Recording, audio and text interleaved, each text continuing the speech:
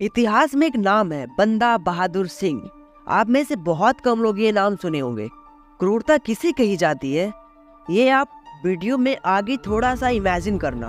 बंदा बहादुर सिंह का जन्म 1670 ईस्वी में हुआ था। इनके माता पिता ने इनका नाम लक्ष्मण देव रखा था। पंद्रह साल की उम्र में उन्होंने संत बनने के लिए घर छोड़ दिया था। बाद में उन्हें माधव दास बैरागी नाम दिया गया। उन्होंने नांदेड़ में गोदावरी नदी के तट पर एक मठ स्थापित किया था। सत्रह सौ आठ ईस्वी में उनकी मुलाकात गुरु गोविंद सिंह जी से होती है। उसके बाद वो उनके शिष्य बन जाते हैं और गुरु गोविंद सिंह जी ने उन्हें एक नाम दिया था, बंदा बहादुर सिंह। और गुरु गोविंद सिंह जी के समर्थन और एक सेना तैयार किया।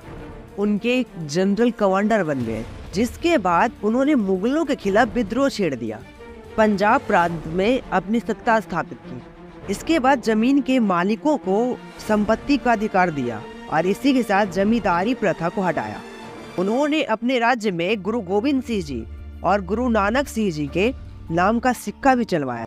1715 ईस्वी के प्रारंभ में शाही फौज अब्दुल सदम खां के नेतृत्व में बंदा बहादुर सिंह जी को गुरुदासपुर ज़िले के गुरुदास नगल गाँव के किले में कई महीनों तक घेरा बना के रखा। उन्होंने 7 दिसंबर को मुगलों के आगे आत्मसमर्पण कर दिया।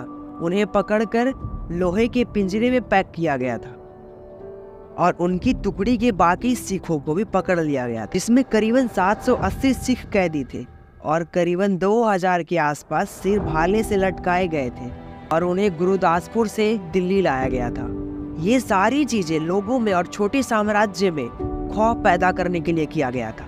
बंदा बहादुर को और सारे कैदी सिखों को दिल्ली के किले में रखा गया था, जहाँ उन्हें अपना धर्म छोड़कर इस्लाम अपनाने के लिए दबाव डाला गया था। उनके मना करने पर सारे सिख भाइयों को फांसी की सजा सुना दी गई थी। प्रतिदिन करीबन सौ सिखों को सार्वजनिक रूप से फांसी दी जाती थी और फांसी देने के पहले बंदा बहादुर सिंह के सामने उनके साथियों को प्रताड़ित किया जाता था। आले चुहाए जाते थे।